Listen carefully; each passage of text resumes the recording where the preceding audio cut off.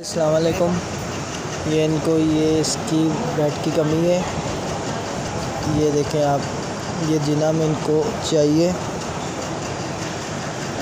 ये देखें, ये गीता। ये उमा खड़ी है। ये जिनकी तबीयत ख़राब है, वो है और उनके मियाँ वो बैठे हुए हैं। ये उनकी बहन बैठी हुई है साथ। ये अभी जिला हॉस्पिटल में है। और इनको ये खून लगना है। अरेंजमेंट कर रहे हैं खून का और ये कुछ ही देर में अरेंजमेंट हो जाएगा। कुछ ही देर में अरेंजमेंट हो जाएगा। और ये देखें आप कितने मरीज़ हैं, इनके लिए दुआ करना। तो सारे खैर खरीत से जो है अपने अपने घर पे जाएँ।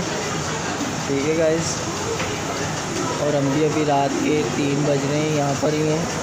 अब देखें अल्लाह खैर करे, सुबह तक इन हम भी घर तक, घर पर जाएँगे। हो जाएगा हमारा भी मसला आप भी दुआ करें और इस वीडियो को एंड तक देखें और हमारे चैनल को सब्सक्राइब करें और लाइक करें और मैसेज करके लाजमी बताएँ इसका। मैसेज करके लाजमी बताना, इनके लिए दुआ करना। ठीक है गाइस और आपको बाकी भी डिटेल में सब कुछ हम लोग बताते हैं, दिखाते हैं।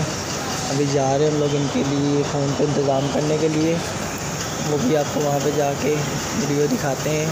हमारा ब्लॉग देखते रहे आप, पूरा कंप्लीट एंड तक। एंड तक देखेंगे, आपको पता चल जाएगा कुछ क्या हमारा मकसद है ये ब्लॉग बनाने का। बस मकसद ये उनके लिए दुआ करना, सबके लिए जितने भी मरीज़ हैं, सारे खैर खरीत से अपने अपने घर पे जाएँ। ठीक है गाइस उनके लिए भी दुआ करना और ये इनके मियाँ हैं। उनको भी देखें। और ये हुमा जो मेरे साथ आई हुई थी अभी आए मैं और हुमा और उसनैन को घर पे छोड़ के आए अपने बेटे को।